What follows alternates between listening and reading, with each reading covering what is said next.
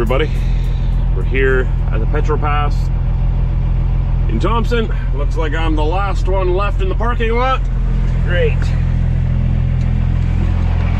All right, so we got this uh, light load on my trailer. I'm gonna go deliver that across the street right now and head back. The snowstorm has hit the south. I'm up here in Thompson, Manitoba. No snow here yet, but it is foggy.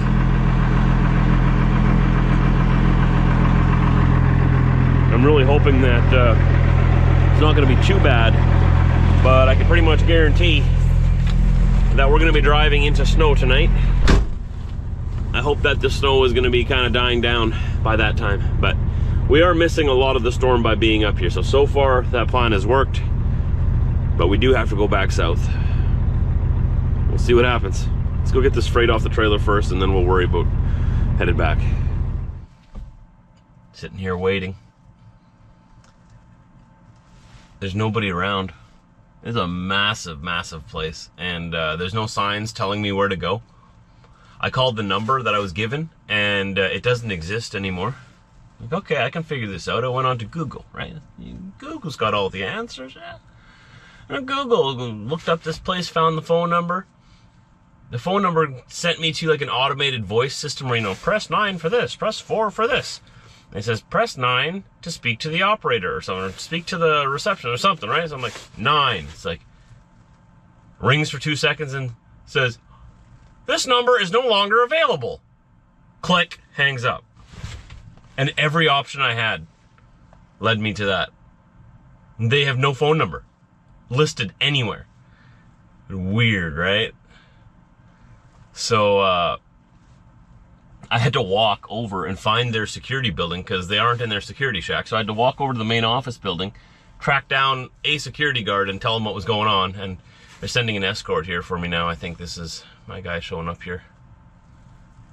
I'm probably on the wrong side. Oh well, it's, it's been a little bit of a frustrating situation, but I think we're all settled now. There's a guy here gonna come talk to me. We figure it out, right? That's our job. That's what we do. We figure it out. When things get tough, you figure it out. He's gonna come and talk to me. Here, here he comes.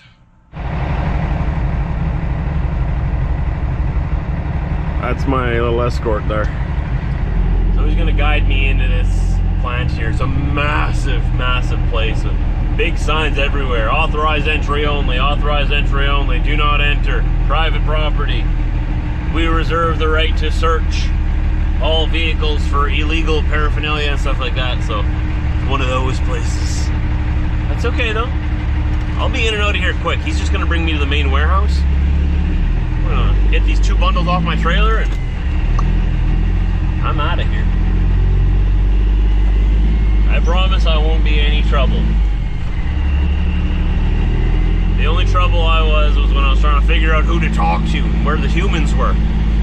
I found the humans. They were hiding. Got a new escort now. They traded off. Relay race. Bring Trucker Josh to his destination. We're going way back into the bush. That's probably where they're gonna unload me here at this little shop. Maybe. I don't know. Maybe we'll go flying right past and keep going. Maybe they'll switch off and there'll be another escort. How many escorts does it take to check, get Trucker Josh to his unloading point?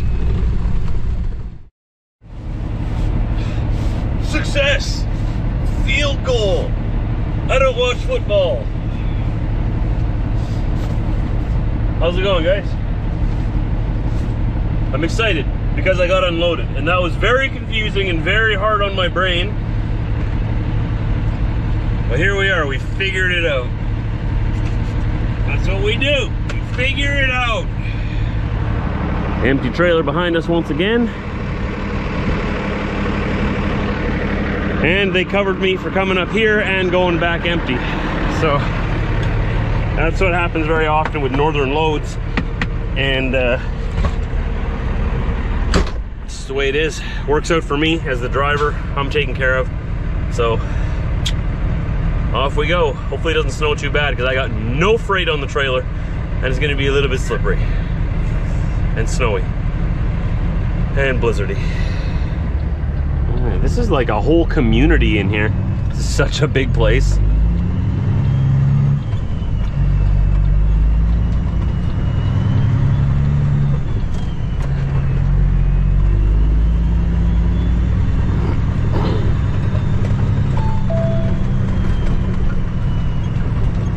A lot more snow here than we have up north.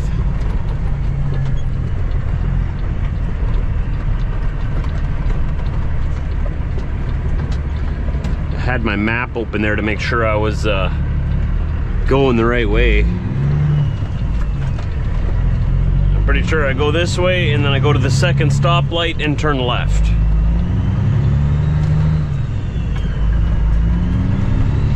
If I can get through all this slushy snow.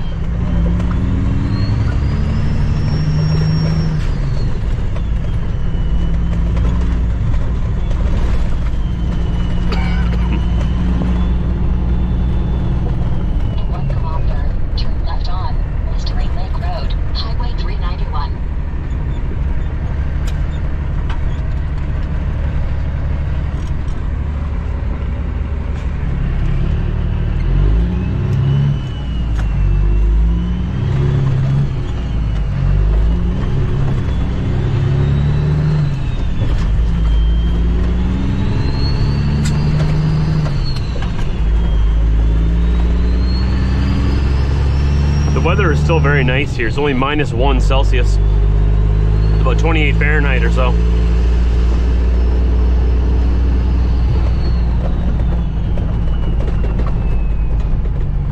And that's exactly why it's going to be snowing later. It's already snowing back home. I talked to uh, my wife and my dad. They're both saying it's coming down pretty hard already. I really hope that it passes by by the time I get down there.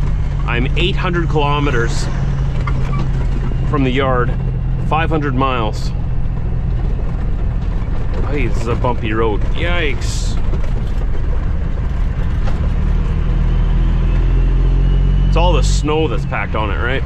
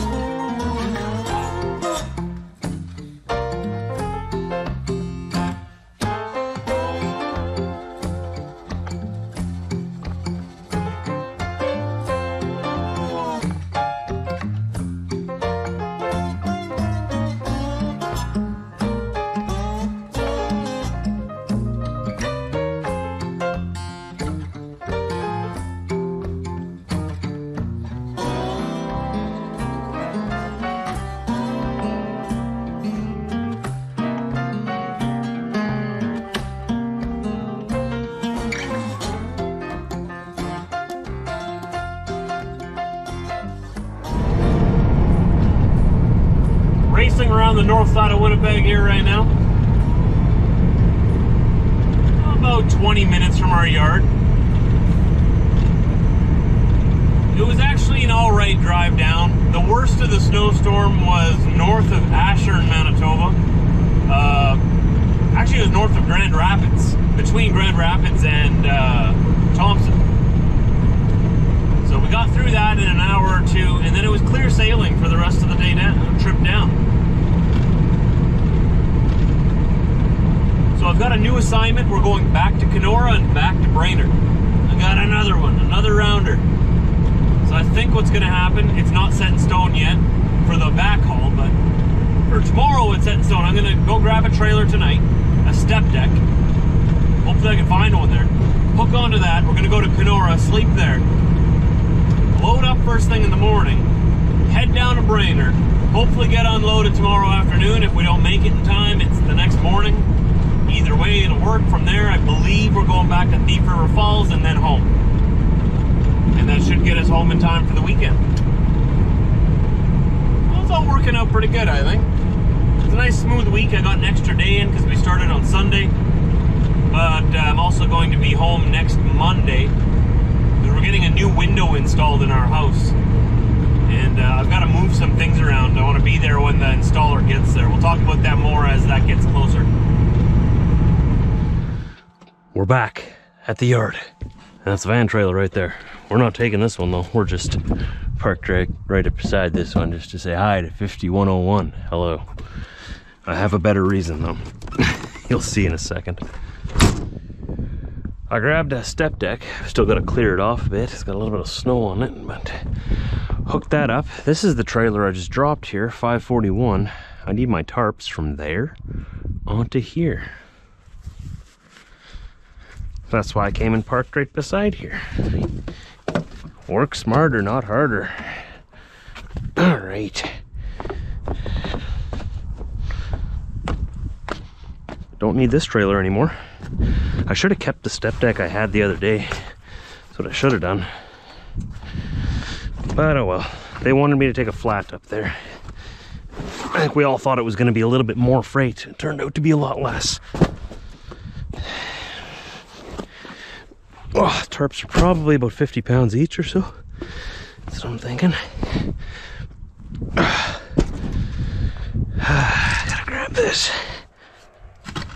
What's this here? Oh yeah, don't fall off, Josh. There we go.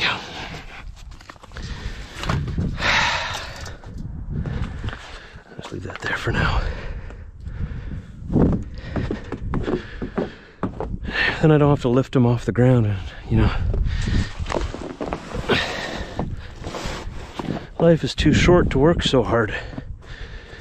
You know? Gotta find ways to make things easier on yourself. There we go. Whew. Okay. I need this thing now.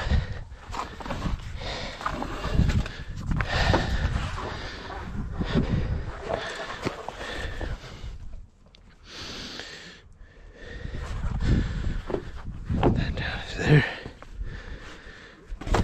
Ratchet those down and we'll be off to Kenora.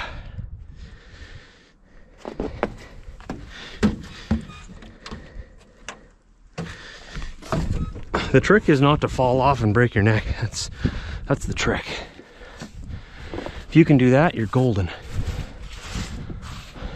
Right through. Oh, we can put it through here, I guess. Mhm. This is how I do it. Because this strap that I'm using here doesn't have a, a hook on one end, right? Someone cut it off.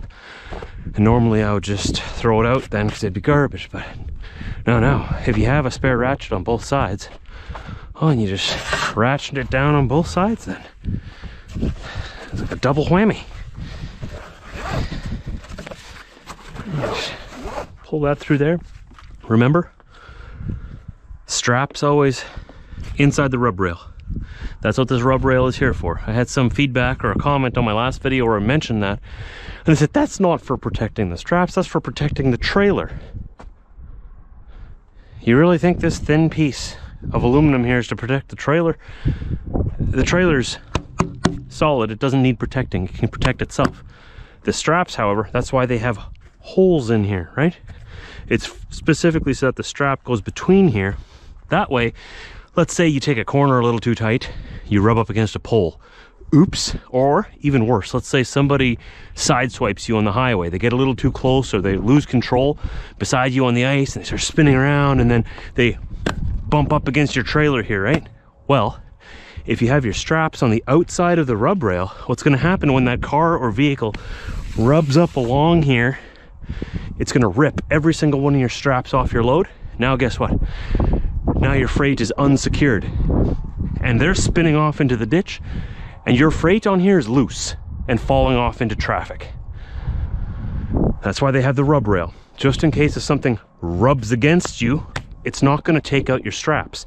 See now if a, if a car comes on here and rubs up against here, hits you while it's wiping out, goes into the ditch, your straps are protected, your load is protected. You're not going to have loose freight on your trailer then. That's what a rub rail's for.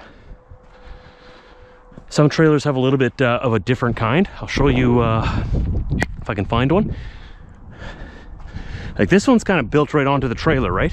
It's part of the trailer. Let's go over here, this trailer over here. You guys are making me run. Oh, look at this trucker run. Here he goes. This is trailer 501. It's a Manac model. It has a little bit of a different kind of rub rail and it's not as strong. See this here? This is what a lot of trailers have. And it's just sort of welded on here.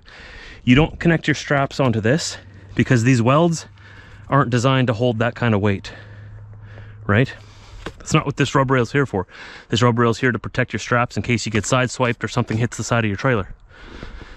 You connect the, the straps to the frame under here, under the trailer. I hook them right on here, right there. I see a lot of people hooking straps onto this kind of a rub rail. In the case of an accident, that rub rail is just gonna rip right off and then your load is loose, unsecured, and off you go. Explaining why you didn't secure your load properly and also having to pay all the fines for not securing it properly.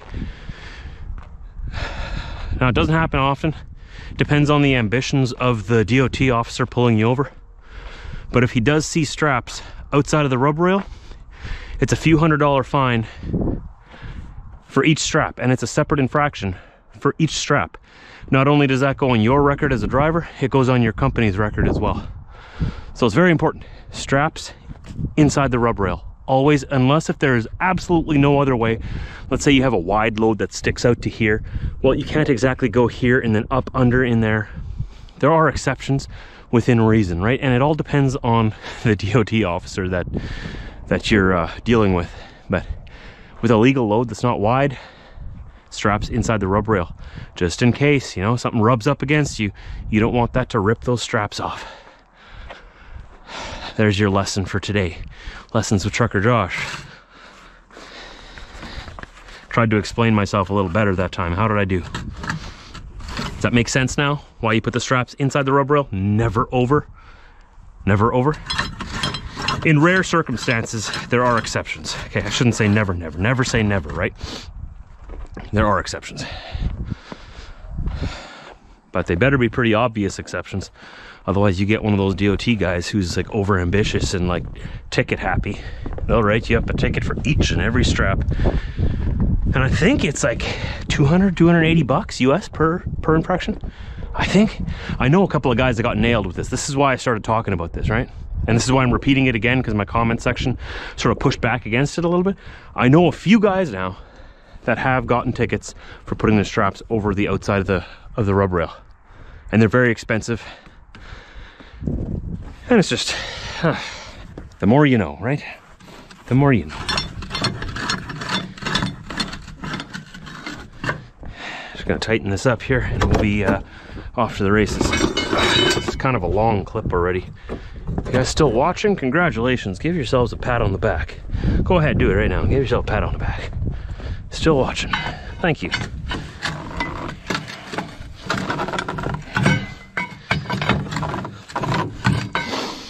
Should have tightened it on the other side. That's what I'll do. I'm too close to these trailers here. My bar is just too big, you know what I mean? I need more space. Lots of space here.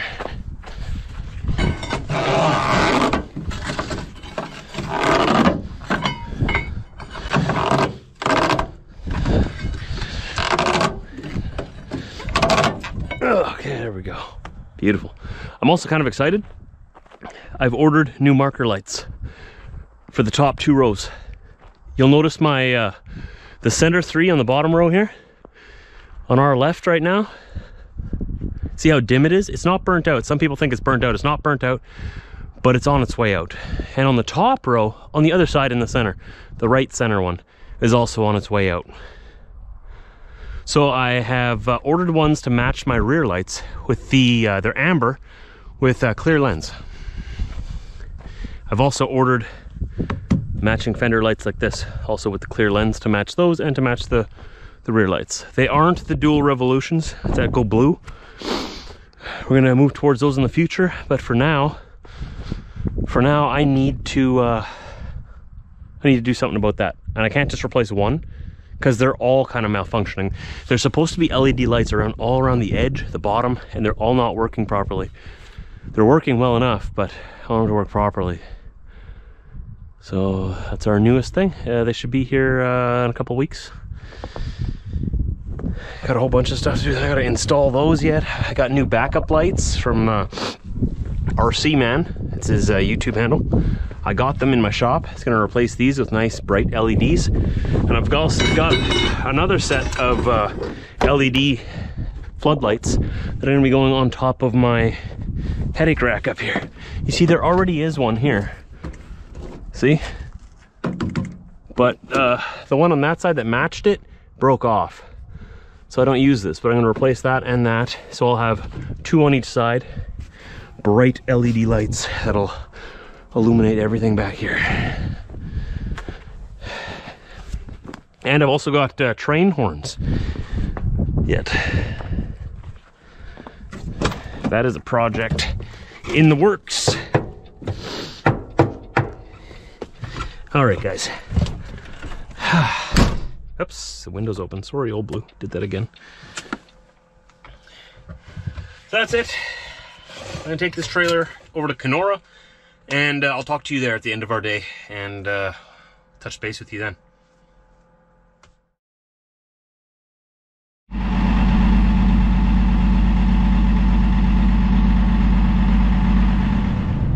That's that, everybody.